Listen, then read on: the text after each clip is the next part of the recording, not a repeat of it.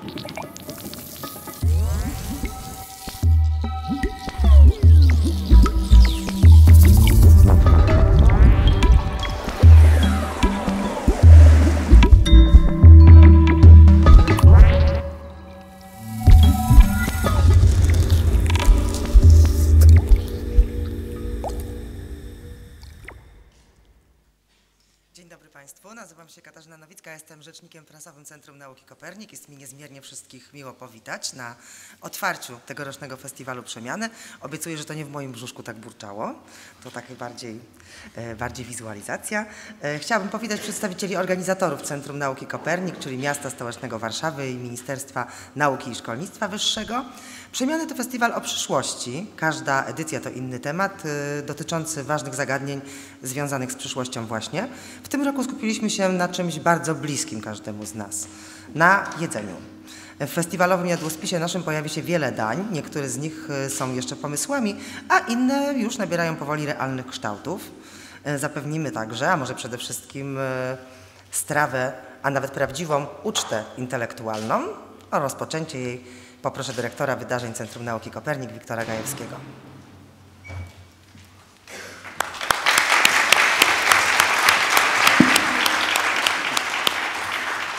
Dobry wieczór Państwu. Ja nie lubię stać za amboną, e, bo lubię Państwa widzieć. Oczywiście to był błąd, nie widzę Państwa, są reflektory. Em, ponieważ to jest festiwal o jedzeniu przyszłości, chciałem się Was, Państwa spytać em, o jedną podstawową rzecz. Kto dzisiaj jadł obiad? Ręka w górę.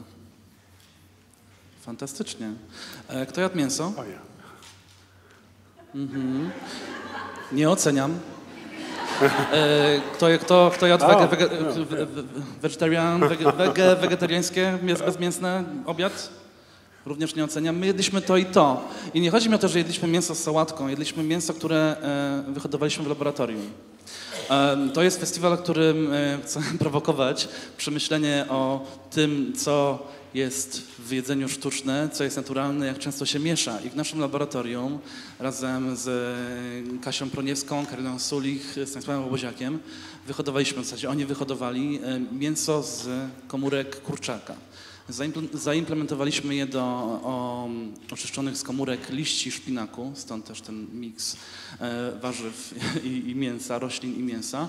I dzisiaj e, może nie tyle zjedliśmy, co dokonaliśmy performance'u artystycznego, e, żeby sprowokować Państwa do rozmów i dyskusji, bo ten festiwal wziął się z hmm, pewnego, powiem delikatnie, wkurzenia na to, jak dzielimy y, świat na sztuczne i naturalne, jak dzielimy jedzenie na sztuczne i naturalne i nie widzimy tego, co się dzieje w nauce i w technologii, co sprawi, że to, to jak jemy, to jak produkujemy jedzenie, to jak jedzenie do nas dociera, skąd się bierze, co nam daje, to się może bardzo zmienić dzięki naturze i naturze, ha? Freudian sleep, dzięki nauce i wbrew pozorom zbliży do natury. E, Jak to mówią w, w Stanach Zjednoczonych, change my mind. Rozmawiajmy, dyskutujmy e, i, e, i działajmy, a mm, dzisiejsza prowokacja zacznie się od wspaniałego wykładu, ale to nie mi, nie moja rola, by przedstawić gościa. Dziękuję bardzo.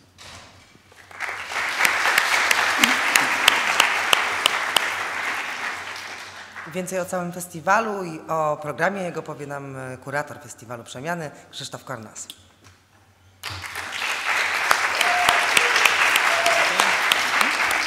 Nie wpuścisz mnie tam? Dobrze. E, Proszę Państwa, e, dostałem zadanie, żeby sformułować program Festiwalu Żywności. I to jest bardzo trudne. Trzeba pogodzić mnóstwo różnych interesów, trzeba zaprosić ludzi nauki, techniki, ludzi związanych z medycyną, ludzi związanych z aktywizmem, z dietetyką, prawników, ludzi, którzy działają społecznie. Jak to wszystko połączyć, jak wydobyć z tych wszystkich różnych obszarów e, te wątki, które będą dla Państwa e, najciekawsze. I też nie wszyscy, jak sądzę, przyszli na ten festiwal, żeby dowiedzieć się wszystkiego o wszystkim, no bo to jest niemożliwe po prostu, więc dlatego e, program poukładaliśmy w blokach tematycznych. Jeśli ktoś z Państwa bardziej interesuje się zdrowiem, znajdzie dla siebie osobny blok z filmami, dyskusjami, warsztatami, wykładami, które tego dotyczą.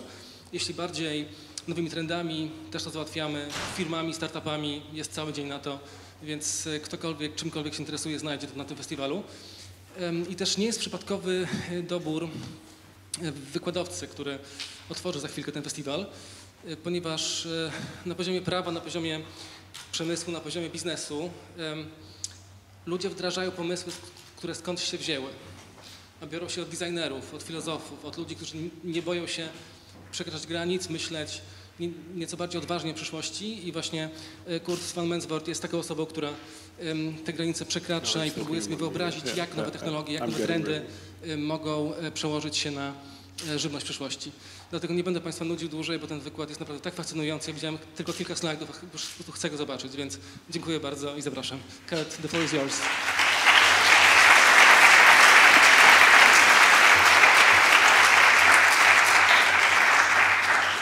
Okay, it is wonderful to be here at Copernicus uh, Science Center. Copernicus shifted our perspective on the planet some centuries ago, but I think today we still need to sometimes shift our perspective. Uh, and I will try to give a small attempt to shift our perspective on food, to shift our per- perspective on, on nature, on what technology is. Basically, in the next hour, I want to put you in a time machine fast forward into the future. So what I will do is I have about 200 slides in my presentation. Buckle up. Are you ready? Um, and uh, I will first introduce myself, then show some products from the future, both food and non-food, uh, both uh, appetite and maybe also some apathy. Um, from there, I will move into the more philosophical part of the uh, presentation. Can you still hear me? Yeah, okay. And I will try to shift our perspective on the relationship between nature and technology. But before I do that, I want to zoom out and look at our planet at night. If we look today at the planet at night, we see all these lights appearing. And a thousand years, things were still pitch black, even in the times of Copernicus. Planet at night would be pitch black. But now we see all these lights of cities. What is going on? Is it is the planet on fire or is it springtime on planet Earth? If you zoom in, you can learn a lot, like where are the blue states and the red states in the US. You see the rise of India quite rapidly. Uh, you see Europe as well as this starry blanket with one yeah, slightly lonely star in the east. Uh, there's also still vast empty areas on planet Earth. Think of, of, of Greenland. Um, or uh, the Amazon rainforest, which is less empty than I expected, by the way. Uh, the Sahara Desert, maybe. Uh, here, you, this is one of my favorite phenomena because you see this Nile River appearing because of all the cultural activity around that natural river. But you also see political and economical decisions, uh, like here. What you see here is the North Korean border it is still a very different situation in Pyongyang than in Seoul. I hope they can find each other.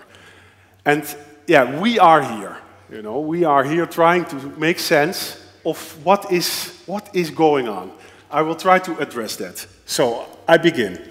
Um, chest. My name is uh, Koert van Mensvoort, and yeah, I am an artist. I'm also a scientist. I'm also a designer. I'm an engineer. I'm not a chef. I will discuss the future of food, but I am not a chef. I am a philosopher, though, also a doctor, a director of the Next Nature Network in the Netherlands, a futurist. I guess at the end of the day, I'm a bit of an amateur. And in my talk, I will, of course, obviously talk about food. I will talk about the future. I will also address systems, biology, technology, nature, uh, nature, and nature. Before we move into the future, a short disclaimer. Because when we think of the future, we always have this idea of today, and then there's the future, right?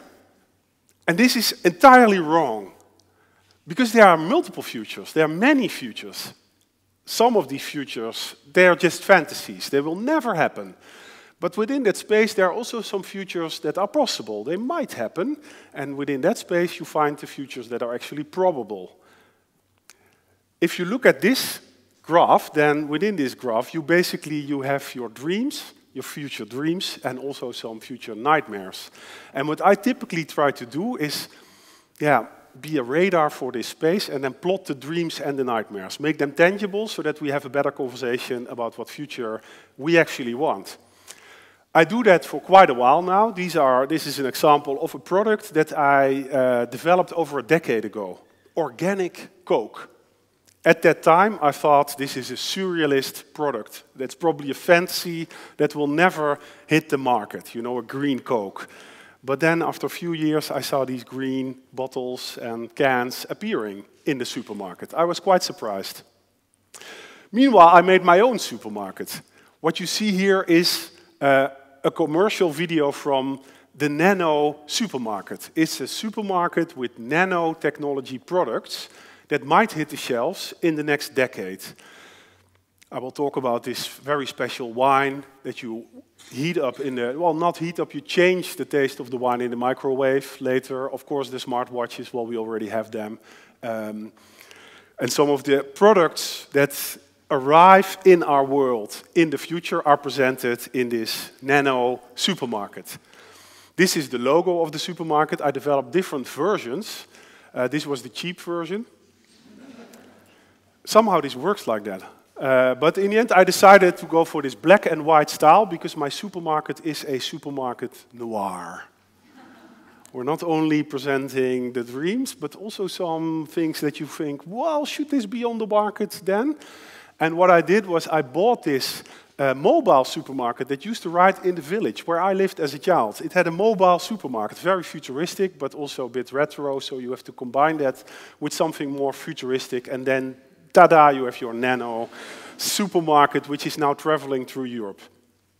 Some of the products in my nano supermarket.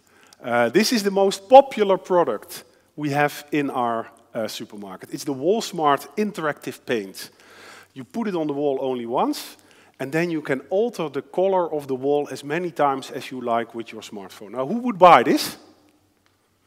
Right, it's, yeah, it's great, right? You can change the color of your wall. It works with uh, magnetic nano uh, rods. So your beautiful shirt, you have a blue, blue dress. It's blue because all the white light that hits uh, your dress is absorbed, except for the blue part of the spectrum that's reflected. And if you could manipulate this on a nano level, then you could make this yeah, surface that you can change the color of. Uh, today we can make this, this tiny piece of WallSmart interactive paint already. So not the entire wall yet. And you see on top the feasibility indicator. So it's not entirely full. We know how to do it, but yeah, the entire wall is still too difficult. That's the game we play. Another product was already in the video. It's the um, Nano Wine. It's a programmable wine. Uh, it contains nano capsules um, and they're very small, so if you drink it, you will not notice. But if they open, they alter the taste of the wine, and you do this in the microwave. Not to heat the wine, but only to change the taste of the, of the wine, and that's how you turn a simple Merlot into a more distinguished Pinot Noir or Malbec. It becomes heavier and heavier. Who would buy the, the nano wine? I'm curious, like in Poland, because yeah, I'm, I'm from the Netherlands, and there it's sort of like, yeah, okay, but I also went with my bus uh, to France and Italy, and no nano wine. no, they don't like it, but it's also an example of a new technology that, uh, that, that immediately pushes away this entire culture of, of food, of wine and tradition, because you have the entire winery in one bottle, basically. However, there could also be new cultures that you have a microwave where you exactly for 3.4 seconds uh, heat your wine and then you have the fitting wine for your dish. Uh, you could also use your Google Nose to smell your wine. Um, people know the Google Glass, but I need a Google Nose, right? Because we always hear the digital world is extending our senses, giving us all these new rich experiences. We enter virtual realities. But then this very intimate, personal sense, which is our smell, it's completely ignored in the digital realm. Your smartphone does not do anything with smell, which is a pity, I think. Uh, with uh, the Google Nose, you can smell at the level of a police dog. Now, you think of some nice applications. Uh, pharmaceutical sushi. Nowadays, especially elderly people, sometimes they wake up in the morning and then they have to eat 20 pills. That's not a good quality of life.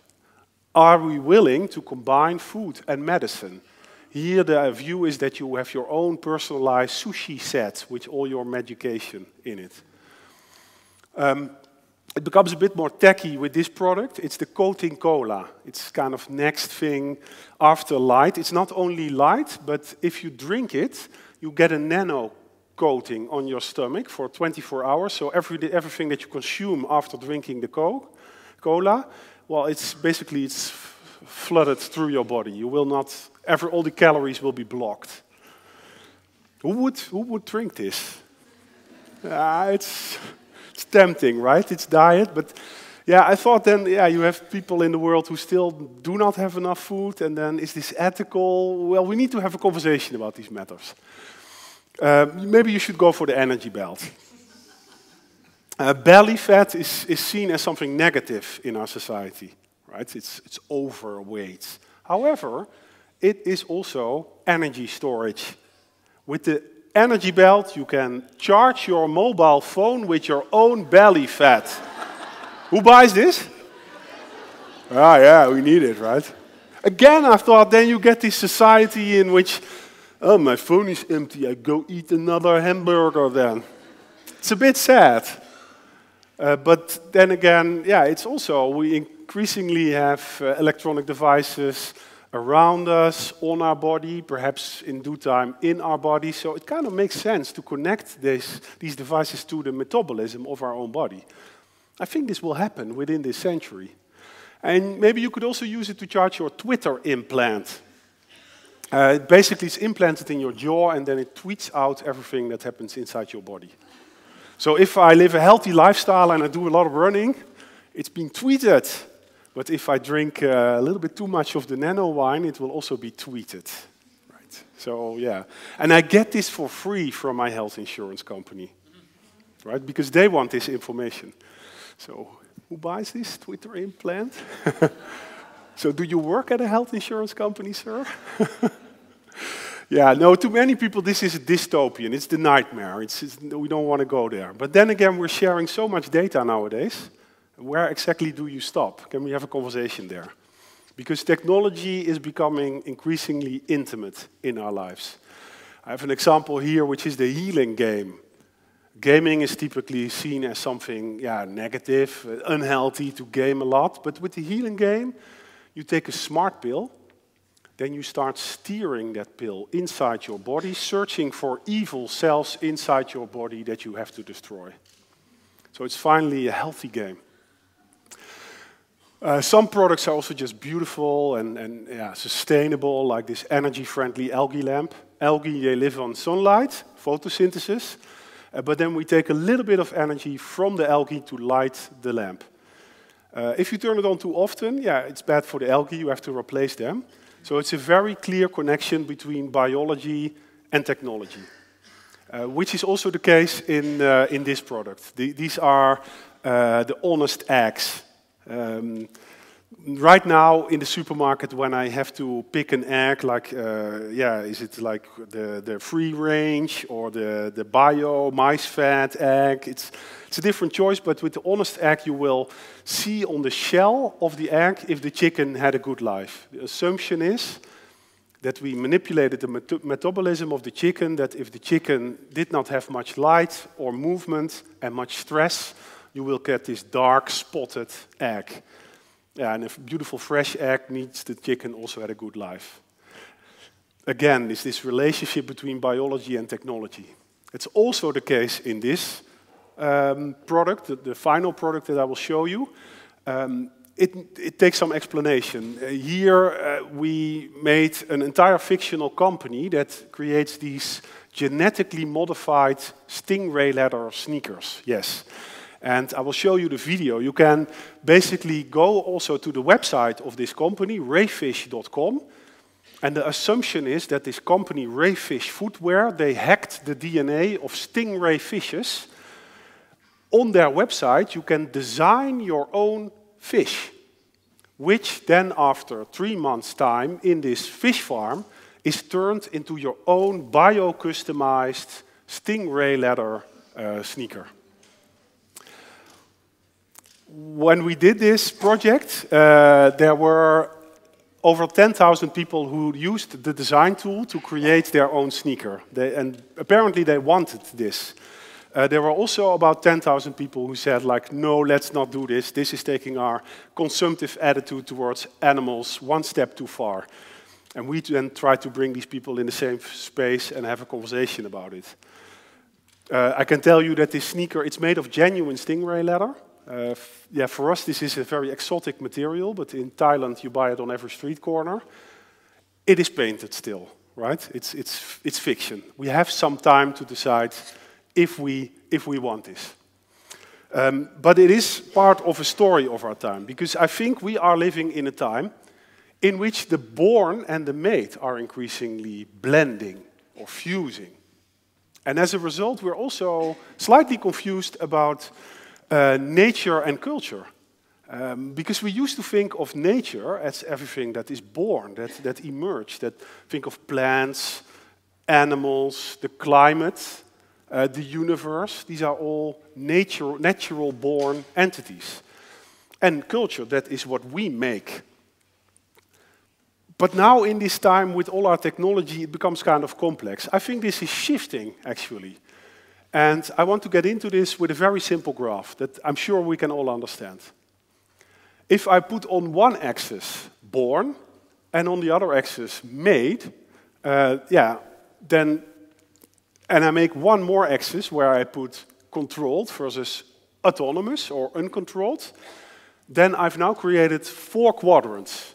And I can put all kinds of things in these quadrants to understand the world around us. So to begin with the born controlled section, there we find things like a rainbow rose, a bonsai tree, a genetically modified banana or chicken.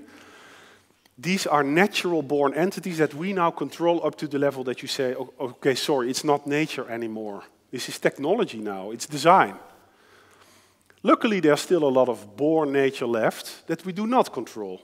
Uh, think of viruses, volcanoes, lightning, or the sun. The sun is so much bigger than us. It has 100 times the diameter of Earth. We do not have any control over the sun. No, we are not the masters of the universe. We're not gods. We can be a bit modest still. Even though we make and control a lot. Uh, in this quadrant, we find cars, uh, telephones, uh, robot dogs, light bulbs. Not too exciting, but in that upper quadrant, things become more interesting.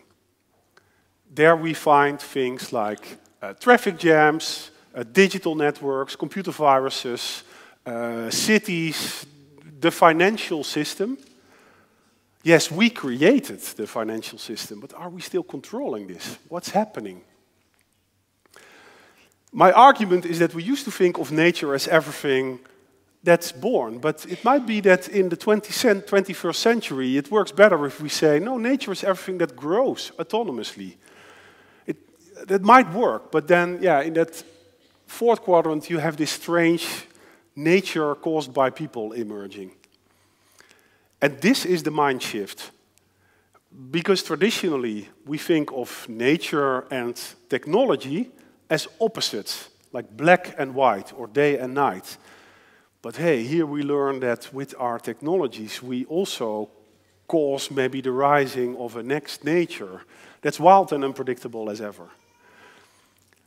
One question you could also ask if you talk about the future of food, like in which quadrant would you like to have your future food? Where do you want to be?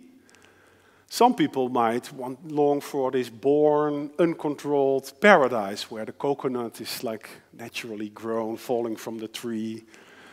Others say like, no, I want like very controlled, modernistic, healthy food. Uh, the Soylent is an example. It's this drink that has all the nutrients you need, apparently. Uh, but then when you consume it, well, things might happen. It might be that it turns out it's not so uh, controlled, um, like these sweeteners, of which we are still a little bit uncertain. Well, are they really healthy for you, or do these, uh, something bad happens inside your body?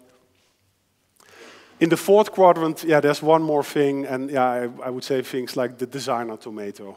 Uh, it, yeah, it, it's redder than bigger than, than the tomato, the, the wild uh, tomato. It looks a bit like a Ferrari as well much of the food that we see today in the supermarket is in fact thoroughly designed.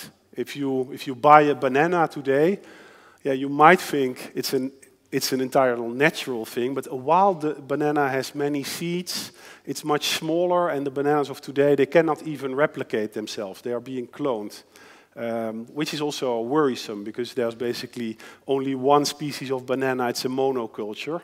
And if a disease comes, it's bad for all the bananas on the planet. This is a risk. Um, when we talk about the future of food, because that's why we're here, right? Uh, well, I already addressed technology. Immediately when you talk about the future, you also think of technology. Today, you cannot imagine anymore a future of food without looking at te technology.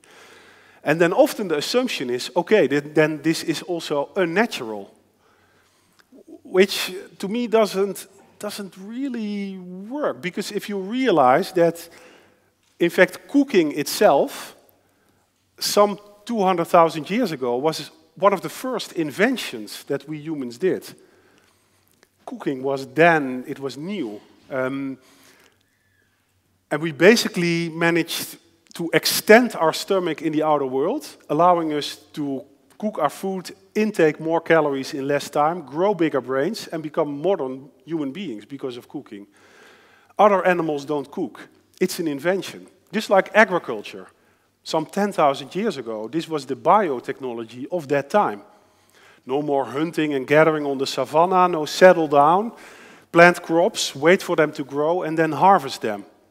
A whole new lifestyle, division of labor.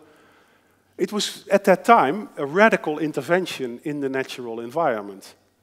But today, with 7 billion people on the planet, without agriculture, yeah, it's simply it's not possible anymore if we look at these developments, starting with the, the, stone axe to domestication of fire, agriculture I already mentioned, um, the invention of the wheel, the invention of writing, the invention of money, uh, the industrial revolution into the bioinfo and nanotechnology of today, if you see that whole development, then you realize that we as human beings, we are already techno technological from the very first day that we are human. It is in our biology to use technology. Uh, and basically, we are doing the same thing all over again, which is, yes, we, we are playing with fire. Every new technology gives us new opportunities, new powers, but also new risks and new responsibilities. And some people say you should not play with fire. But that's, in a way, also a denial who we are as human beings. However, we have to be very keen in how we do it, because you could also argue it's a wonder that we've come this far, that we're playing with fire time after time, and we're still here. I think this will never end. Uh, we will never conquer nature, or it will never be the end of nature. Um, nature will not let us relax. Rather, it changes along with us. That's a different way of looking. Is technology becoming our next nature? I try to look at the nature technology interaction from this perspective. And I do this 24 hours a day, seven days in the week. Uh, and I have some examples where I think, what's going on? This is the first example, right? Where, do you remember that moment that you got your first mobile phone? I wonder, is there anyone in the room who does not own a mobile phone? Nobody? Is there anyone who does not own a smartphone? Okay, so no, we are all, we're all included. And do you, do you remember that moment that you got your first mobile phone? ah! no, no. Um, I would like to have an applause for this person who does not yet have a smartphone.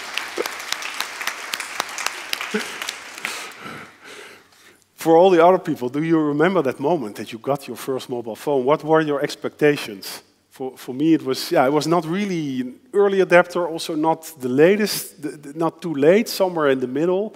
Like most people have a, a phone now, and I also buy one, it's kind of handy. But today, when I leave my house without my phone, you know, then, yeah, I, I feel naked. I feel as if I'm missing a limb. And I quickly run back to my home to grab my mobile phone and to feel like a whole human being again. and, and no, the mobile phone, it's smartphone, it's not, it's not glued inside my body. Uh, but it's, it is part of my lifestyle and, and my identity. It's quite intimate, actually. Another example where I look like, what is happening? These are all the razors that I used throughout my life. I started when I was 15 with this simple stick. It had two blades. And this morning I shaved myself with this six-bladed, battery-powered, LED-enabled monster that looks a bit like a vacuum cleaner. I see the whole development, and yeah, you, you look at it and I wonder, is this, is this evolution? Typically people say, no, no, because yeah, we make these razors. Okay. Could this then be a symbol of co-evolution between humans and technology? Just like the, the bees and the flowers co-evolved. Uh, the bees take the nectar from the flowers, but they also spread their pollen so that the flowers can propagate. And we help the technology to propagate. That's what we do as humans. And then I, yeah, I read in the newspaper that biodiversity is going down, but then I enter a supermarket and I see an enormous increase in, well, biodiversity is not the right term, but technodiversity perhaps. There are now more, more patents known on the planet than species. Of course, all these products, they're also distributed around the world. These are all the shipping routes that we have. It's like this new ecology emerging, and we've done it, although we don't experience it. We don't, we're not aware of this every day. This is all steered, of course, by our financial system. Yes, we made it. We created that financial system, but who's controlling this still? Is it time that we start to look at the financial system also as an ecology in its own right? And then maybe what could bankers still learn from farmers? Uh, because farmers have a lot of experience of coping with ecologies like weather and climate. That you, you know, I don't control everything, but I still deal with it. What are the new methods of guiding the growth of, of these kind of phenomenon or this phenomenon? Um, this is not a star nebula somewhere far, far away. No, closer than you think. This is a map of the internet. Every device connected to the internet plotted as a dot, and then all the connections between the devices plotted as lines. And you get this, I think, beautiful uh, structure. And we're all part of it, but we never really designed it like this. It kind of shows us that just like the fish who don't know it's wet, we are dwelling in this technological environment. While this is happening, we, we, we hardly know what technology is as a force of life in the world. So to get into this, I, I, want to spend some time and take you back, back to the beginning. We, we now go back to the beginning of our planet. It's about 4.5 billion years ago since our planet emerged. And you don't recognize it because at first it was just this lonely rock floating in space. It had a geosphere, uh, but it took some 3 billion years uh, before a biosphere evolved upon our planet. 3 billion years. And then over 1 billion year later, only people arrived. So, yeah, we've just arrived. However, our presence does not go unnoticed. Because with our ingenuity and activity and creativity and technology, we cause the rising of a new sphere on planet Earth, the technosphere. And just like this biosphere evolved upon the geosphere uh, underneath and still has all kinds of interactions with the geosphere, now this technosphere is emerging upon the biosphere and also has all kinds of interactions. It's a simple message. Uh, evolution goes on. And we all know the story of evolution and Darwin. But then when we talk about nature, often we still have this feeling that we are the, the, biblical Adam and Eve who have been sent out the beautiful natural paradise, and since then, as sinners, we can only spoil it. It's not entirely correct because we are all born in a world that has been designed already. If you look around in the room we are in now, and you try to find the most natural thing in this room, yeah, then, then it's you. All the other stuff we, we design. Right?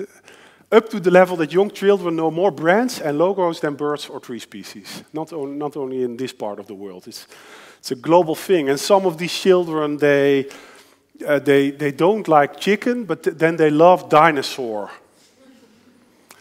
Yeah, it may look a bit sad, but I try to have an open mind and understand it. Like, okay, uh, these children, when they, when they grow up, what will we make for them? Maybe a 3D printed dinosaur leg. Uh, or, or an entire saber-tooth fillet for the entire family, right? These are surrealist images, right? It's a, it's a fiction. But then when I walk in the supermarket around the corner, I find things like this, um, which, yeah, it's normal to us, but if you think about it, this box, square box with multiple sticks, and then multiple animals are in the stick, but you don't recognize them as animal anymore, it's quite weird. Of course, we think this is normal, it's part of our life. And, and this is shifting all the time. So it might be in due time that we have this kitchen tabletop incubator, where in your own kitchen you basically, yeah, you harvest some cells from animals, you remix, you hunt and remix. Today we use fish plus deer, and then we remix this in the kitchen tabletop incubator. You set the tenderness of the meat exactly to your desires. Then you wait for some three days in the kitchen tabletop incubator, and there, ta-da, you have your tuna deer steak grown in your own kitchen. Will this ever happen? Uh, I don't know. It's, it's a fantasy, it's a fiction. Um, but for sure, we need to talk about the future of meat. Um, we need to talk about meat because many people know um, climate change is a serious issue, but less people are aware that meat consumption contributes to about 15% of the greenhouse gases that are heating our planet. Are we not consuming too much meat? We cut rainforests to grow uh, soy to feed animals, whereas in some parts of the world people do not have enough food still. And then I haven't even discussed uh, the animal diseases, the, the, the, the issues with the animal welfare. We need to look at our future of meat. And towards the future, there are basically there are four scenarios, four options. Uh, the first option is that we just continue to consume as much meat as we do today. Uh, then in 2050, uh, when there are 9, 9, billion people on the planet, uh, we need another planet. Uh, the other option is that you can become a vegetarian. Are there vegetarians in the room? Okay, yeah, may I also have an applause for these most sustainable people? This is this is, in fact, the most sustainable thing you can uh, do. And, and, but notice that I did not raise my hand. I, I still consume meat, although I'm also ambivalent about it.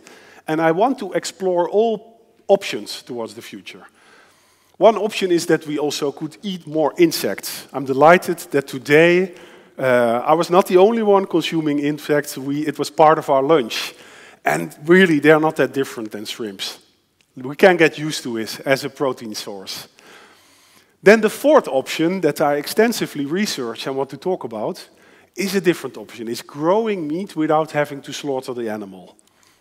Uh, basically, it works like this. We have an animal, we take some cells from the animal, we then grow the cells outside of the animal. We need to feed the cells, and then they will replicate into muscle tissue and then be turned into your familiar burger.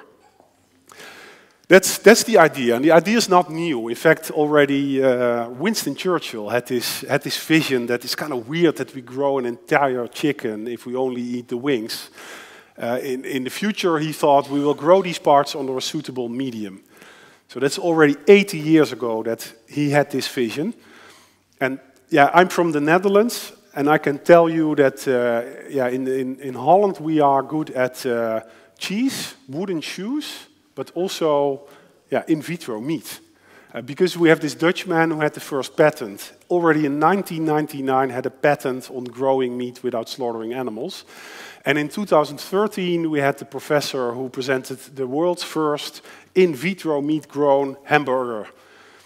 It only cost yeah, over 1 million uh, at that, at that moment. It's research, right? And we were working at the same university. Uh, so I had a lot of contact with, uh, with the man while he was doing it. And I, of course, he had this vision I grow meat in a different way, it's more sustainable, it's animal friendly, it's great. But the, to me, it also felt a bit like a horseless carriage in the sense that new technologies, yeah, they bring us also new products, new cultures. When the first car was introduced, people did not have the notion of a car. They called it a horseless carriage. Uh, and they did not have the notion of tra traffic jams, seat belts, highways, energy issues. So then I decided to explore also uh, yeah, the creative potential of, of in vitro meat. And this, this resulted in this very special product, the world's first in vitro meat cookbook. 45 recipes you cannot cook yet. The person who has the best question after the talk wins this book. Uh, I will show you some of the dishes from the book. And one of the first things you think about, if it's too difficult to 3D print an entire steak, but you could make thin threads, then we could make this kind of yeah, knitted meat in which uh, yeah, grandmother will then be in the kitchen knitting, knitting the meat. It might be this cozy future kitchen cooking ritual. That's one of the first things you think about. Something else you will quickly realize is that if you, if you grow meat in a bioreactor in the lab, then you do this under very controlled circumstances. Um, so you could make a, a, sushi or sashimi that is softer and basically healthier and, healthier and better than the best sushi you ever tasted. Uh, we call this honest from the lab. For the kids, we have the, well, they want their dinosaur. Uh, that's too difficult the cell material of dinosaurs, it's just broken. We're not going to do that anytime soon. But maybe the dodo, this extinct bird, we could give that a shot. We could have some cells from the dodo and then make a dodo nugget for the, for the children. I must say I'm more a fan of, of this dish for, for, for young children. What you see here is a very simple sausage, uh, but, but it's from a very special pig uh, called Pookie. Pookie lives in the city farm. And uh, we take some cells from Pookie, we grow a sausage, you feed the sausage to your child, and then the next day you can take your child to the city farm, and then you see there, hey, there's Pookie, he's alive. We don't have to slaughter the animal anymore to grow the meat. Now, this would radically change our consumptive relationship with animals. Um, foie gras, there's this dish. It's notorious for being not animal friendly, but yeah, maybe you could just, without guilt, eat it. Um, also, strange new dishes, uh, because it, the new meat doesn't have to look like a steak or a sausage. It's almost like abstract painting. You can, yeah, anything that you can envision, you, you can also make. This we made. We made meat eyes. And we have this little cart that is also, yeah, roaming parks in summertime. And then we, yeah, we serve some meat eyes to people. It's, uh, you think no, but it, it's, it's quite tasty. It's finally some ice cream for grown-ups. Uh, some people, they really want their meat experience, so for them we made the bone utensils. It's 3D printed uh, fake bones with meat on it, and then you can feed your inner caveman. Um, also hybrids, meat, fruit. Uh, yeah, it's, it's fruit structure, but then with a very meaty taste. Um, yeah, it also learns us that these new technologies, we have to address again our positions. I was delighted today that I could also, I got uh, a meat leaf uh, today uh, in the center here. Uh, but it's also this weird product that as a vegetarian it looks like a plant, but it has animal cells in it. So new technologies force us to readdress our positions. One step further even, although it's very, very speculative, I had to add, these are the synthetic organisms from the in vitro meat aquarium. Um, they move, but they don't have a central nervous system, so they don't feel pain. So without guilt, psh, you can put them fresh on the teppanyaki plate. Are we still handling this? Yeah. Because I realized some, yeah, it's, well, it's appetite and apathy, right? That's, that was the assignment. That, that's what we're here for. Um, and uh, I must add that uh, things, things will get worse.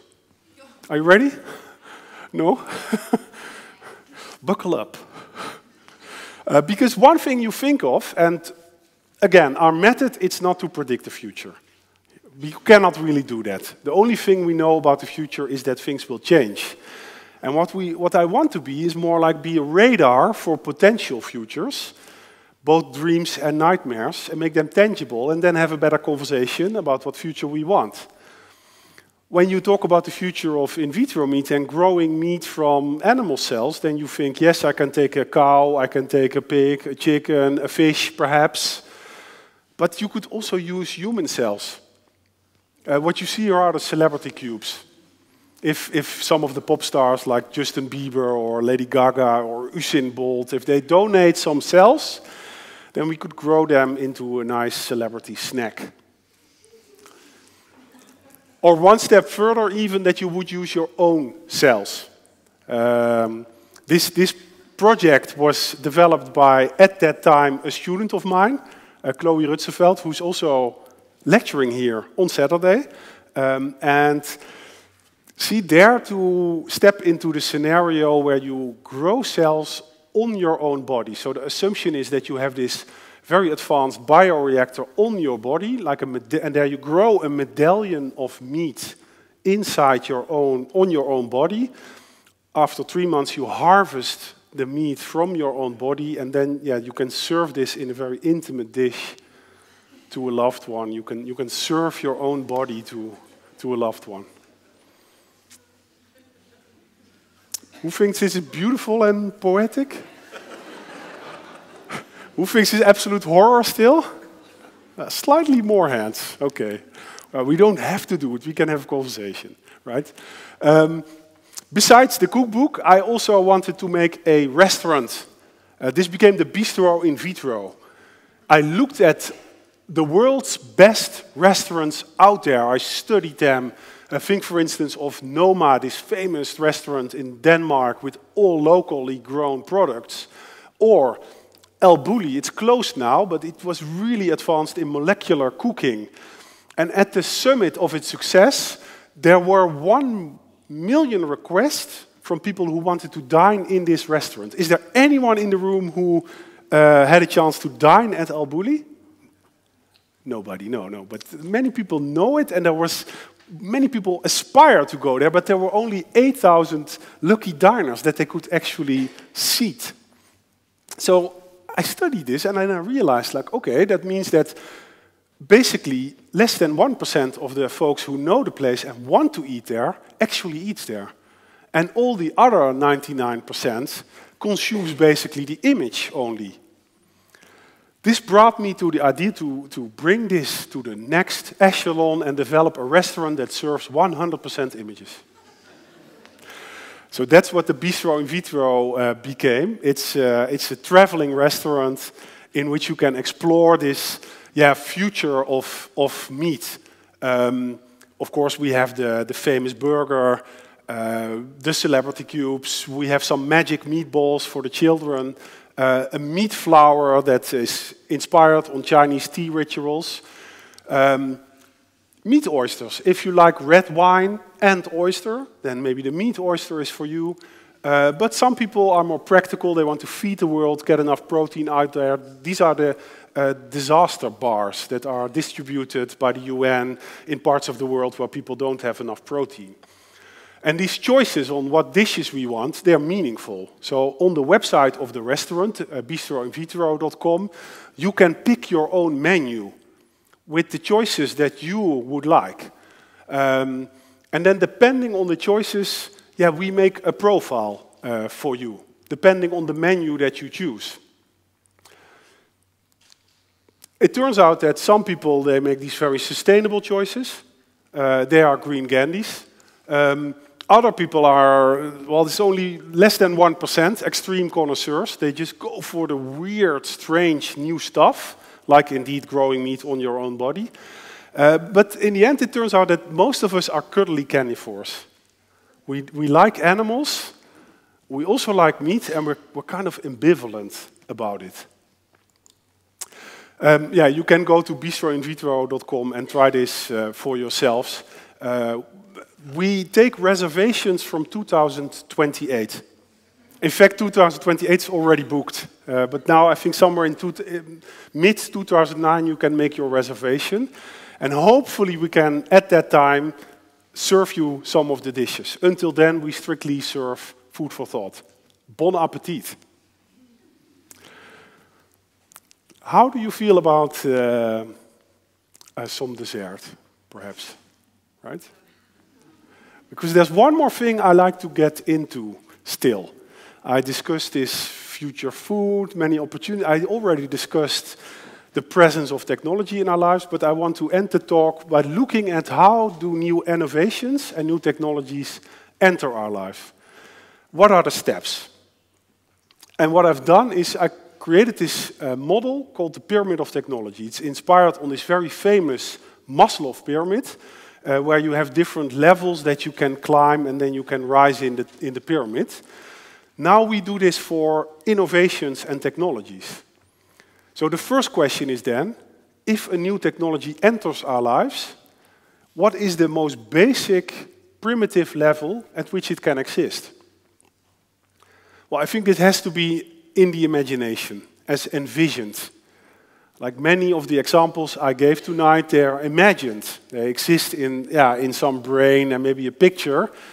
Um, an example here would be the quantum computer. Scientists are working on this new computer model, the quantum computer, and if they succeed to make a really good prototype, then it will radically change our digital world. All the encryption will be broken in one gesture, so it will be a big deal. But they don't have really strong prototypes just yet. Maybe this technology will just stay at this level. Um, an example of a technology that's, well, unfortunately still at this level is the time machine. We all know the time machine, but yeah, I, I, I never had a chance to test the prototype just yet. Sometimes it, it works, like with the communication satellite that was invented by a science fiction writer, and then a decade later we launched the first one into orbit, moving that technology to the operational level. Yes, we have a prototype. Also, the cultured meat is now at this level. Yes, we made a hamburger. Yes, today we, we, we had this very special meat leaf, and we have some prototypes, but yeah, it's not applied yet. You cannot, you cannot buy it in the shop. It's too expensive, it's not available yet. Um, smartphones, they are widely, widely applied. Um, no, wait, first, solar panels, they are applied. Uh, they, they, are applied for decades already. But they're still competing with uh, uh, alternatives like nuclear energy which of these technologies, which are both at the same time applied, will basically win the struggle and rise to the level of acceptance. The smartphone, is, that, that's, that's there. We all have this smartphone already. Within a decade, everyone embraced it. It's part of our everyday life. Just like um, cars, uh, flat screen televisions, GPS systems, they are part of our everyday life. And for me, I have to say, GPS, it's, yeah, it's already at a higher level. I, I, cannot, I cannot read maps anymore. I'm always looking for the blue dot on the map. If you would remove GPS from my life, I would have a small crisis. It's, it's at a vital level. Technology is at a vital level. If you remove them, well, you have to adjust. You have a small crisis. Another example here is uh, sewerage systems. Uh, yeah, it's introduced little over a century ago. But yeah, and we don't think about it every day, but imagine that we would now remove all sewerage systems from Warsaw. Just imagine. That would be an interesting experiment. or indeed, yeah, it's the internet. Uh, we use it for less than a lifetime, but yeah, imagine that we that we for one week would now turn off the internet. Would you still have a job? Uh, how would you study? How would you communicate with your loved ones? You can even ask yourself the question, uh, would you rather live without sewerage systems or without internet? Who rather lives without internet but with sewerage systems? That's a lot of hands. And who rather lives without sewerage systems but yeah, you need your internet? Okay, it's, it's less hands still, although you, yeah, you can then check on the internet how to build your own like yeah, sewage system and yeah, you will find a way, yeah. Okay. These technologies, they're so part of our everyday life, they're so successful, they're, they're almost, they're becoming invisible. Truly successful technology becomes invisible. Um, an example here is the alphabet. We don't think about it every day, but this is basically an ancient information technology that make our, makes our thought and uh, speech permanent in the physical space. Uh, books, billboards, uh, signage, graffiti, it's applied everywhere. And as a child, you have to invest in mastering the alphabet. Uh, but then once you can do it, you don't think about it anymore. Are there people in the room who don't make use of alphabet? Well, yes, one per young person excluded. Are there people in the room who don't make use of alphabet technology? No. Well, they still, they still exist, like people who cannot read and write. Also, the clock is at this level. Um, it allows us to make set meetings with more precision than the natural units of the day, the month, and the year. But then when you are woken by your alarm clock slightly too early in the morning, then you're basically also being domesticated by this technology. So we always think that technology serves us, but at a certain moment, quite often, we also serve the technology. And especially when it's invisible, it's quite techy. So we should be keen on which technologies we allow on this top level. I have one level to go, the summit, the ultimate success a technology can have. I think that's uh, yeah, to be naturalized, to be part of our uh, human nature. Here I have three examples. Uh, the first example is clothing. I, I, I, asked who does not own a smartphone. Uh, are there people who cannot read and write? But yeah, I, it would be silly if I would ask the question. Are there people in the room who don't make use of clothing technology? No, it's, it's something we do as human beings. But some centuries ago, this was a genius invest, uh, invention by an ancestor that invented that you could use an animal fur as a skin and then stay warm and move into other areas where normally it would be too cold.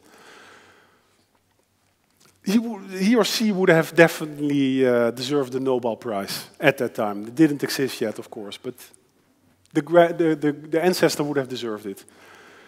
Another example, I already discussed agriculture. 10,000 years ago, it was an invention. Today, 7 billion people on the planet without agriculture. Uh -uh, it's not working anymore. And uh, the oldest invention I also already discussed cooking, food. The fact that we cook our food. It's the first invention we ever made. Other animals don't do this. So here we learn with this pyramid of technology that yes, new technologies in the beginning, they're always weird, artificial, alien, strange. We don't know what to do with it. We need to look into it. We have a conversation. Then when we start to apply them and they work, they become more familiar. They become part of our everyday life.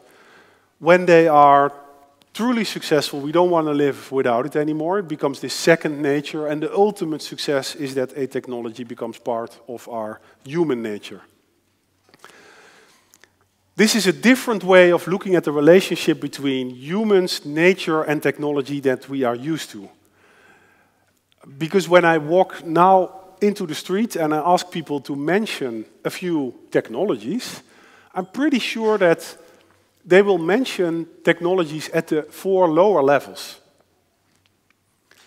As if we have this unspoken definition of yeah, technology that's everything that was invented after I was born. Or, or sometimes it's even worse that people say technology, that's everything that doesn't quite work yet. And then they're also negative about it. But no, when it really works well, then we don't experience it technology eh, as technology anymore. It becomes this extension of us that we co-evolve with, that we live with. So because of this limited understanding of technology, I think we also settle for partial solutions. Think, for instance, at the envisioned level. We have beautiful dreams about ourselves. Uh, an example is the, the dream of telepathy, that you can uh, communicate with uh, a loved one or family member at a distance. It's this ancient dream of telepathy. And now what we have is a smartphone with an empty battery. It's a partial implementation of the dream of telepathy, and it's not good enough yet. Another example is the dream to be able to fly like a bird. It's a beautiful human dream that for centuries people were, they, we looked at the birds and we thought, I want to fly like a bird. It will probably never, never happen. But then the Wright brothers came and it worked. And yeah, now we are at this crowded airport. It's not good enough. If only we take our dreams way more serious and try to push them all the way to the summit of this pyramid, then we can do so much better. And no, this is not easy, it's very difficult, there will be many pitfalls, it will take a long time. But at least we know where we are going. No longer we need to be, yeah, like against technology or nostalgic about some past that never really was there. No, we can say, let's take technology and push this to, to also basically bring our human story in the next, in the next chapter. I think the most important thing is that we all push for humane technology. That we all in our life make a decision to pick the technologies that extend our senses rather than numb our senses. That resonate with our intuition rather than estrange strangers. That feel intuitive and natural rather than weird and alien. And technologies that do not outsource but empower people. And technologies that realize dreams that we might have of ourselves. Some dreams might be strange today, but they can become normal in the future. If we all pick and push for humane technology, well, then I'm hopeful that, that we can yeah, kind of cope with that technosphere. It's not going away, you know. We cannot go back we, cannot turn back evolution. Evolution goes on, and the technosphere is there now. It's evolving. It's often beyond our control, but still we created it. So maybe it's also our task to balance the technosphere better with the biosphere. Because in the end, this is not happening on three spheres. It's all happening on one sphere, uh, which happens to be now our planet Earth. Again, I work on this uh, 24 hours a day, seven days in the week, and I do this at an organization called the Next Nature Network. We try to find a better future, eh, not only for humans, but all the other species and the planet at large. And if you're really interested in, in joining, then there's a lot more to read. I have this must-read coffee table book, and you can join the network. Uh, if you go to this special URL for this evening, uh, we send you uh, the book when you become a member. Thank you for your attention and good luck to everyone.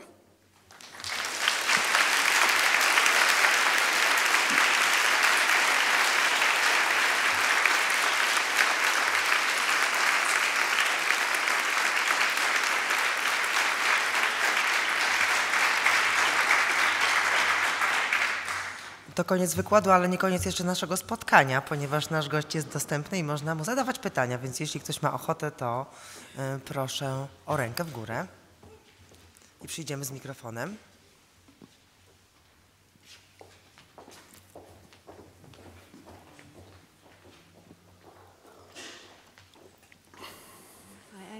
Very specific question about one product. There was this uh, wine that yes. you can change the flavor according to your wish. But then, how do you put it in the microwave? Does it have to be a special microwave that doesn't heat it? Yes, so uh, I have to explain that you only put it for three to five seconds in the microwave, and then you open the capsules, but you don't not yet heat the wine. Okay. That's the concept. And indeed, there might be very special uh, microwaves that, that you can exactly set it. Uh, but I must also add, I show you this product. I think this project, product will probably never be on the market because we can make this nano wine, but it will be more expensive to make than, than one of the best wines you can already buy in, uh, in the shop today. So it doesn't really have a good business case.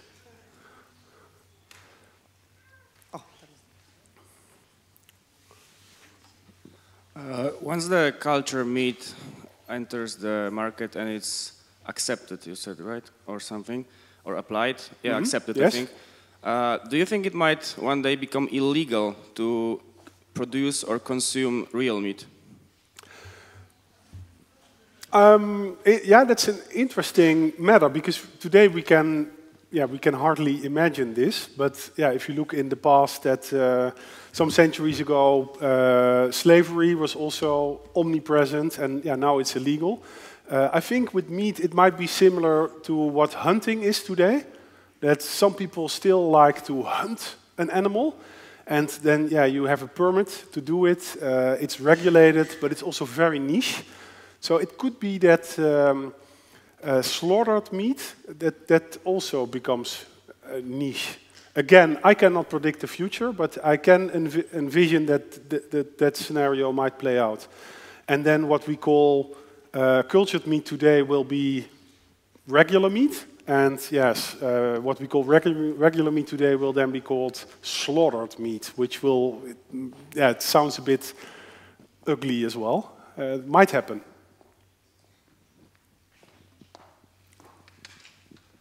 Recently, we see that we give a lot of power to algorithms, which, for example, decide uh, what uh, we really like, they spy us in all of uh, social networks. So the question is, do you think in the future in restaurants, are there going to be many with just different dish, or will we just receive the uh, dish which will be perfectly fitted for Yeah. our uh, taste? And additionally, maybe we'll just drink a small shot of nanobots, and Yeah. after one second or 60 seconds of analysis, we'll receive just one dish exactly for us. Yes. What's the future of menus in the restaurants? How do you think about it?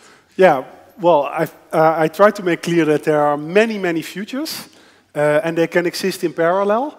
But definitely, I can envision that there's a restaurant where you, or maybe if you are in a hurry, you walk in, they have your DNA, they know what what what your nutritious needs are, and yeah, they just uh, serve it to you automatically. And then it's of course your choice if you want to dine in that restaurant. And maybe some people, five days in the week, they just want a quick uh, proper healthy food and they, they do this and then in the weekend they will uh, they will maybe eat slaughtered meat that uh, that could ha might happen yes Hi, hello. it's on your right. oh hello Hi. Um, for quite obvious reasons, I'm uh, recently very much into the milk problems. i understand yeah and I was very much inspired by your self-harvest uh, in vitro meat. And I was thinking about the moral side of it and why people tend to uh, be distanced from it and still have problems with eating their own products. Meanwhile, we all have been harvesting someone's body yes once in our lifetime, Yes. Being Excellent. breastfeeded. Yeah. So I was wondering, have you been thinking about expanding your experiments on other products like eggs and milk? Uh, absolutely, yes. Um, and I can tell you that uh, right now, as we speak, there are multiple companies that are developing, um, yeah, yeah, basically cultured milk. Um, and it will be probably be on the market sooner than the meat because it's easier. Uh, we know a lot about how a cow, yeah, how that functions. You, you eat, it eats lots of grass and then it uh, works in the stomach, and then out comes uh, comes the milk. Uh, so Actually, I have, I'm in contact myself with some of the big milk producing companies, and they are very serious about uh, uh, developing this. Uh, thank you also for pointing this out, because, yeah, indeed, if you think about it, that drinking milk from a cow, it's omnipresent. Uh, we all do it, or many people do it. It's quite normal. But the first person that you imagine some centuries or thousands of years ago that you would go into the cow and then pull the cow and then steal the milk from the cow, that was a pervert, you know. That, that was at that time, that was just such a weird thing to do. And now it's normal, but yeah, if we don't have that many livestock anymore for the meat production, then we might do it in another way uh, uh, as well. Thank you for your question. Hi, I have a question. You told us uh, a lot of about the future scenarios, and what's your biggest dream in context of future? Ooh. Um, now I feel I should like start an entire different uh, lecture because uh, in in in the broad sense or about food or no in the broad sense yeah well one personal dream I have uh, which I did not uh, speak about tonight is uh, that I think it's desperately needed that we connect uh, economy and ecology better. Uh, because right now we see all that rainforest being like, yeah, pushed away or uh, replaced by soy. And we know the rainforest is a beautiful ecosystem, um, which is very old and it sustains itself with sunlight. It's just there and yeah, it's now threatened. At the same time, from my next nature perspective, I look at the financial system also as an ecology, but I look at it as the threatened, uh, the threatening ecology. So you know, this, this, this financial system threatens the planet. It takes resources from the biosphere, and then that's happening. And the strange thing is that you can, when you chop a tree, you earn money, but when you plant a tree, you will not be paid, which I think is such a misfit in our uh, relationship between eco uh, economy and ecology. So I want, I dream of a world where we have an eco coin, uh, a coin that you, that you can earn by positive, sustainable behavior. And if you, if, you, if you have these positive, sustainable activities, that you would earn eco coins with it, that you can then spend in the sustainable market. And this is also a project that with, uh, with my team, I'm working on realizing this. So if you want to look into this, you can go to ecocoin.com and learn more. And I hope that in 40 years or so that our children will ask us like, so in the past you did not have this eco coin, you only had like other money and that didn't really work yet. No, no, and then we say no, that didn't really, that money didn't really work correctly, but we solved that now. I think that's, that's my dream for the future. Teraz dwa pytania tutaj z góry sali.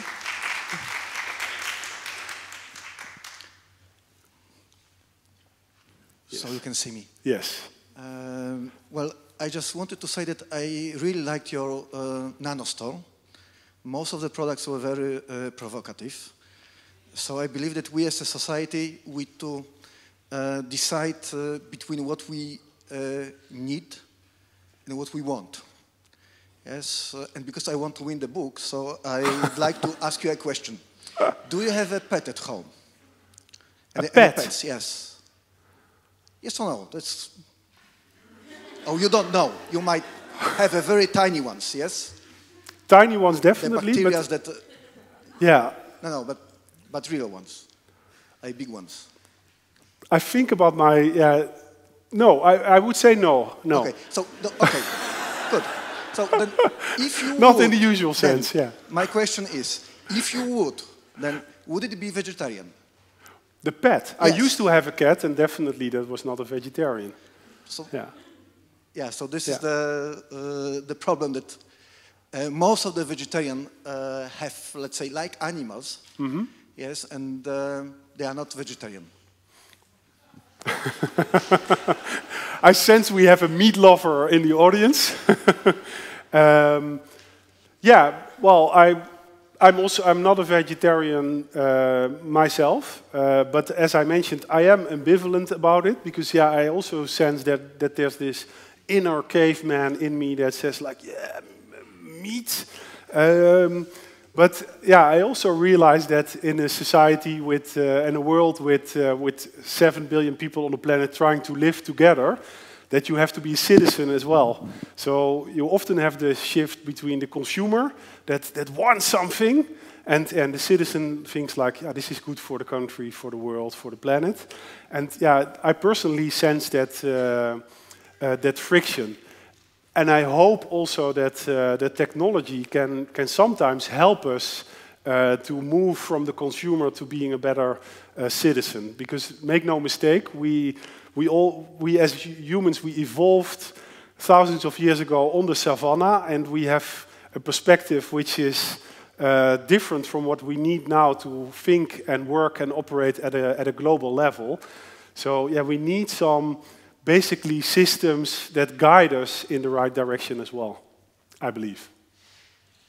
Hey there, thanks for your presentation. So, right here. Yes. So, thanks for your presentation. I think it was really techno-optimistic, and I'm wondering what are some roadblockers or unknown issues that we really don't know how we're going to solve to get to this envisioned future? Oh, well, yeah, uh, lots of uh, lots of challenges, obviously. Um,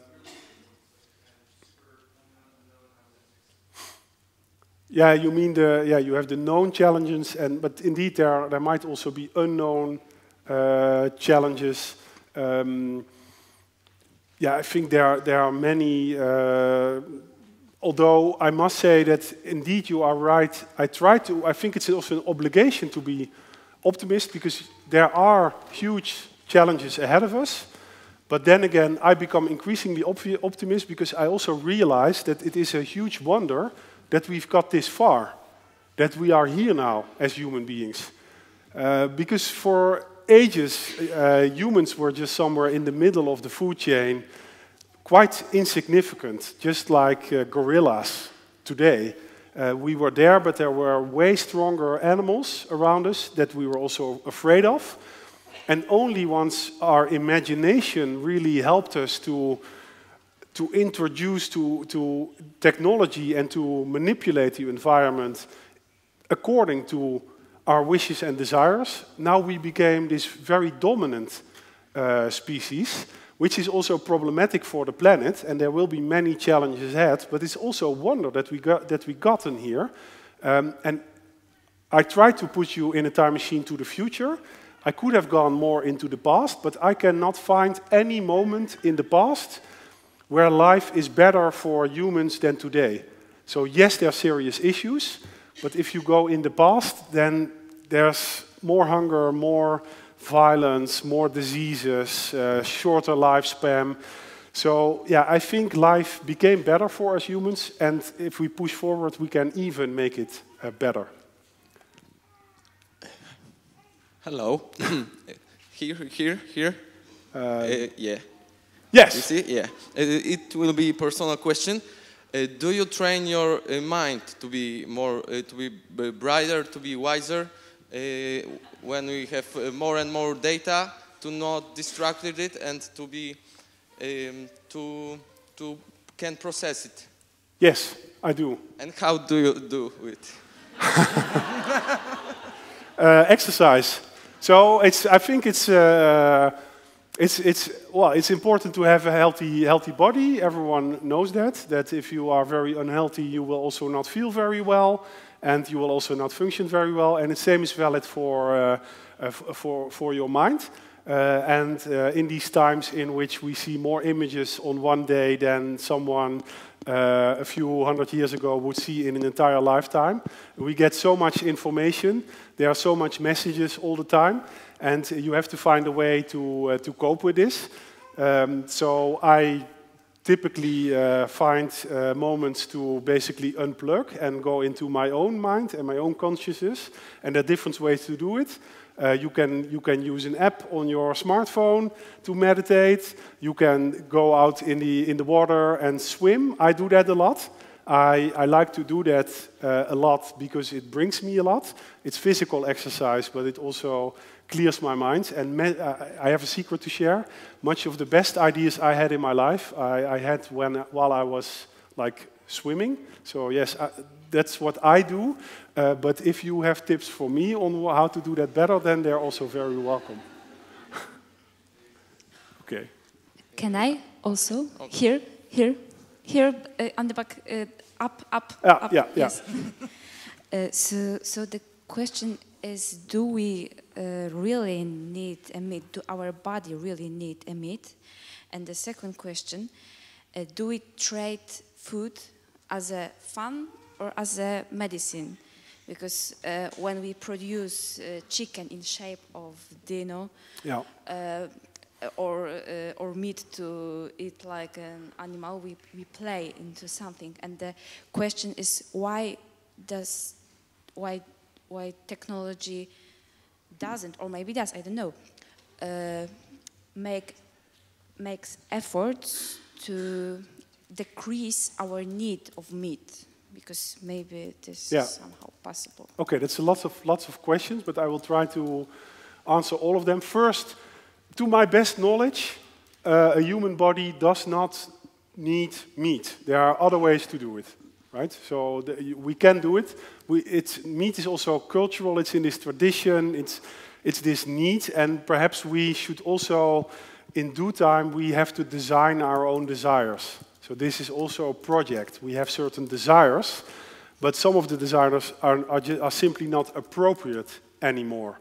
Uh, yeah, to, to give you uh, an example, uh, if you think of equality between uh, the sexes, we have this whole Me Too movement, which is also about certain ancient uh, male desires that are simply not appropriate anymore in the 21st century. And we, we have to design our desires and we have to cultivate our desires.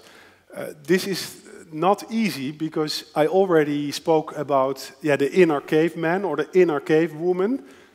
Uh, and I already mentioned that we, as humans, we evolved on the savannah 40, some 40,000 years ago in a setting which was quite different from how we live uh, today. And there we were basically getting by and, and, and finding new food. And if you, if you would have meat, it would be a great celebration because you found an animal. If you would find sugar, then you would think, wow, this is great. I have some honey now. This, it would be so nutritious. But today, if I find sugar, well, I can find sugar on every street corner. Um, and, but somewhere in my body, there's still the tendency to, to, to say, sugar, bring it on, but doesn't work anymore. So this is the friction uh, we are in and the difficulty we are in. And I think it's partly about uh, cultivating your own life and, and yeah, trying to find your way, but it's partly also about creating systems that uplift us.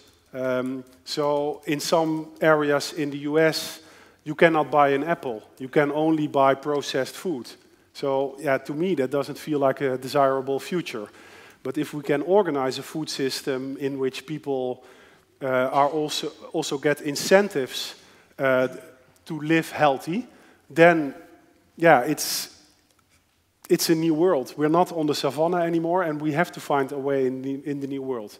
I hope I kind of answered all your questions. Okay, thank you. Hi, I'm here. Next, behind, here. Where? Oh, there. Up, yeah. up, up. Okay. Hello. Hi. um, short question, because we know that we have our ups and downs during our historical uh, and evolution. Um, how do we perceive uh, our situation now in this suinos- suinosoid, in this like suinosoid?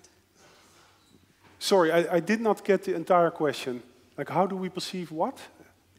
How? Because we have ups and downs in the history when we are like evo- in the evolution time. Yes. Uh, you mean so- as a species? Yeah, like Yeah. yeah. Yeah, yeah, how yeah. do you feel that where we are now in a in a peak, or we are going down, or we are like Ah. growing still? Like Okay. Um, wow, that's, that's something I.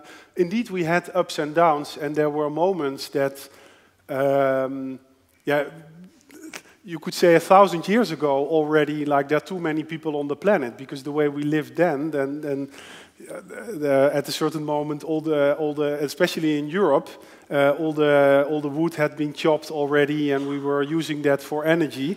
But then we found coal and, and oil, and, and then we moved into the Industrial Revolution. So that was again this period of, of yeah, speeding up. Um, I, I don't know if we are, I think now we, we're kind of at a starting age, I would say. Uh, but things are, yeah, in my view, I'm, I'm hesitant because it's also your own perspective.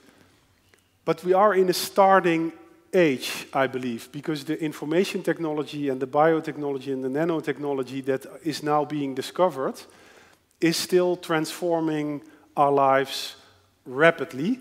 Uh, so certainly things change very fast. The only question is, should I go like this or should I go like this? Because is it going down or is it going up?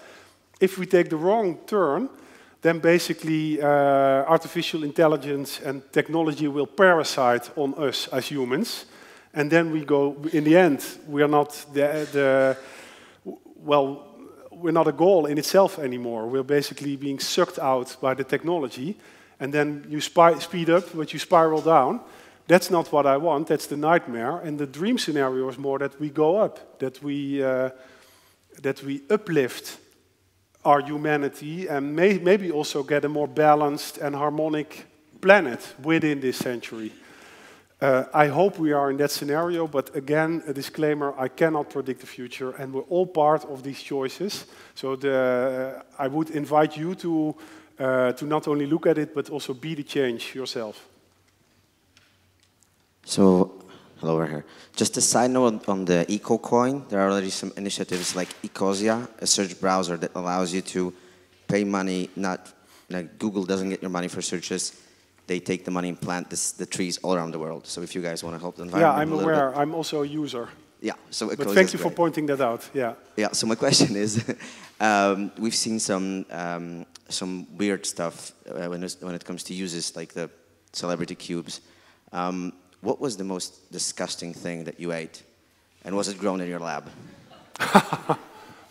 uh, well, uh, again, a secret about myself. Uh, I, I'm afraid I have to admit I am this extreme connoisseur. Uh, when I walk into a restaurant, I sometimes not even look at the menu. I just say, like, bring me the weirdest thing that is here local that I uh, that will uh, surprise me. And yeah, it doesn't happen soon that I that I will not um, that that I will not eat it uh, because it's too weird. And in fact, what I, what I personally find most strange, and in a way even disgusting, uh, that's something that a, a, friend, when I was very young, told me. Uh, he said, Yes, I eat meat, but only if I don't recognize the animal in it. And I, that, to me, that felt so hypocrite and, dis and disgusting that you eat something, that, but you don't want to know where it came from, what it is. Uh, so I try to avoid all the processed uh, meat, which I can tell you they're everywhere. Are we there? No Widziałam tam jeszcze rękę w górze z lewej strony. Yeah, there's more here. You, you tell me when to stop, okay? Okay. Maybe these people they want to have Everything a drink. Everything under or... control, no problem. Okay, good. or, or you tell me when to stop. That's. Hi, uh, here. Yes, uh, hello. We know that the environmental, environmental uh, dangers uh, which comes with meat uh, comes from the big uh, cow farms and so on. And in the grand scale, it's really, really dangerous, but in the small scale, as the in vitro meats are right now, it's not dangerous. What will happen uh, what are the byproducts or dangers when the in vitro meat will go like popular and it will be everywhere. Okay. okay that's my question. Yes. Well, calculations have been made uh, about uh, the, um, the, the, the sustain, sustainability impact of uh, in vitro meat. And um, the conclusion so far is, and that's not 100% sure because you only know things sure when, it, when the industry is there, but now it's only scientists studying this. And their conclusion is uh, being a vegetarian is even more sustainable, but moving from traditional meat production into this clean meat, cultured meat production, that will be such a huge step towards sustainability because we use so much water to, to uh, to feed a cow. We use so much energy to, to grow the meat, especially um, uh, when it's about cows. They, they use so much energy. Chicken is less of a sustainability impact.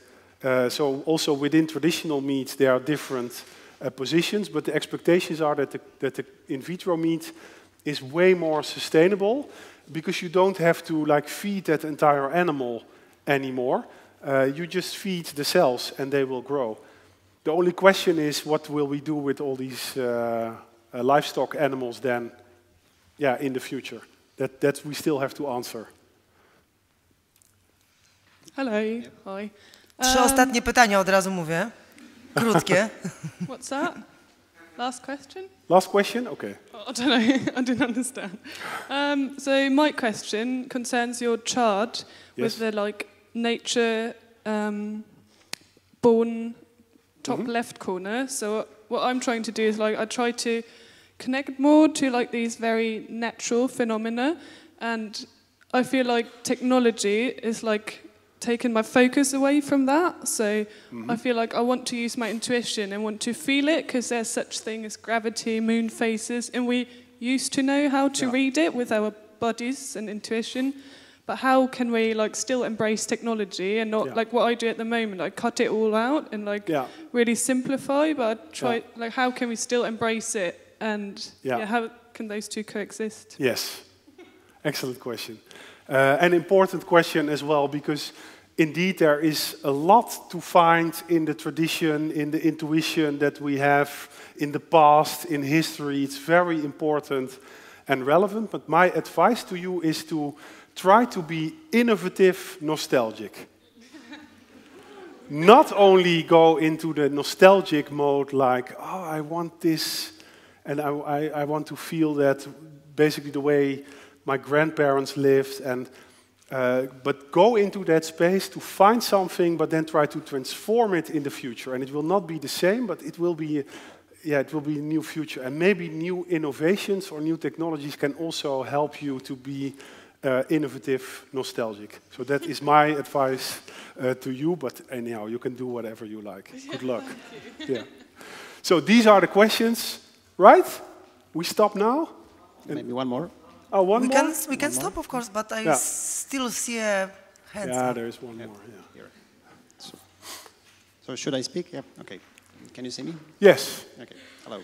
Thank you for the Two last lecture. one. And um, the question is, um, basically, you mentioned about the quality of life. Yes. Um, and I think that quality of life depends on two factors. So uh, one is available resources, which technology, of course, can increase, and we are doing this. And on the other hand, we have the population which can consume them. Yeah. So uh, human population is also growing. So it's maybe related to this, you know, ups and downs that you mentioned. Uh, so in the history also, sometimes we, we get the, you know, stationary technology, we didn't get more resources, so the, with more, bigger number of people, we get just lower quality of life. So what is your perception on the future uh, regarding this race between the human population growth and the technology advancement? Yes. Um, yeah, it's, it's also an interesting matter that uh, you see the population growth uh, yeah, moves along with technological development, but also, for instance, rise of CO2 levels. You see nice parallels between population growth and rising CO2 levels. Um, I must say that, um, yeah, as I already mentioned, a thousand years ago there were already too many people on the planet for the lifestyle that we had then. Um, and today, if everyone would be like utterly nostalgic and try to go back to a hunting and gathering lifestyle, well, as a hunting gathering human being, uh, you, you need some square kilometers per person to basically have enough resources in your environment to live. Uh, so back then already, in that lifestyle, there were too many people on the planet. But the thing is, we always invent something new. So then we, we went into agriculture, and because of agriculture, we could live with more people on the planet.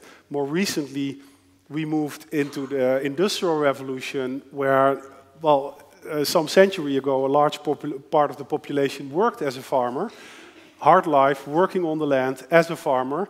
But now, uh, only a very small percentage of the people, at least in Europe, uh, works as a, as a farmer uh, because a few people, they have the tools uh, to create enough, to be a farmer and then create enough food for all the rest of us so that we can be uh, interior decorator, web designer, uh, personal coach, cybersecurity analyst. We can have all these other roles, which is also valuable and diverse.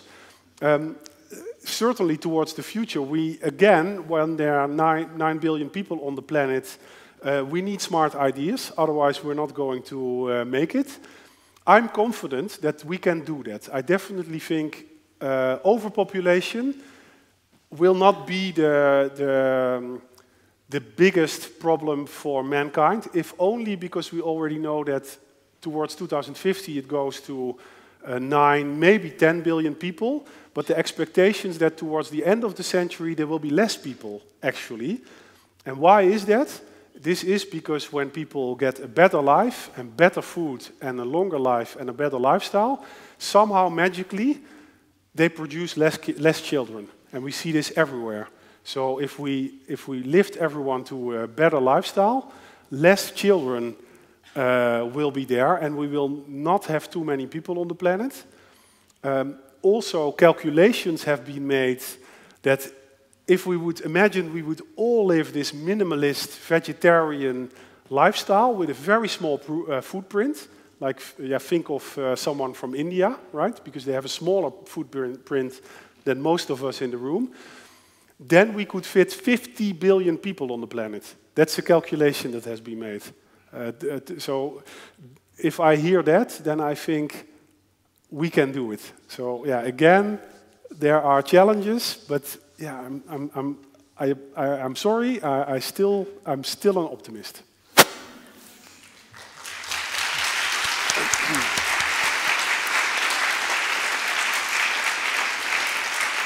Kończymy That's all. Kończymy już naszą rozmowę. I, I still have to hand out the book, right? I have to give an award to the best question. Okay, so just do it now. Yes. Well, because I was thinking about it, and uh, then I was thinking that you and you, and there were so many excellent uh, questions uh, that it's impossible for me to properly judge who asked the best question and then give the book to that uh, question. So now my decision is that I just want to give this book to the youngest person in the room. And I gave it to the mother, yeah. yes.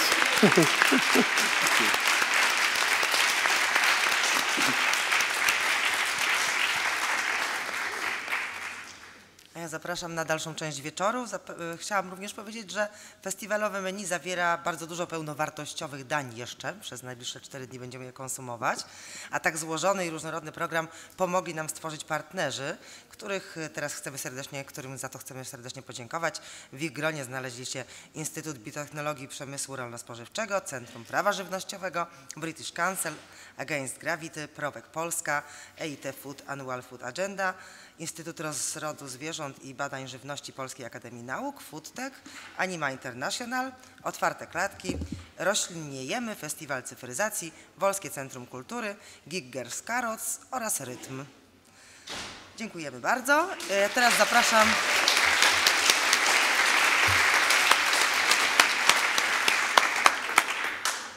Ja teraz zapraszam na ciąg dalszy naszego wieczoru. Trzeba kilka kroków w górę pokonać, żeby móc w nim dalej uczestniczyć.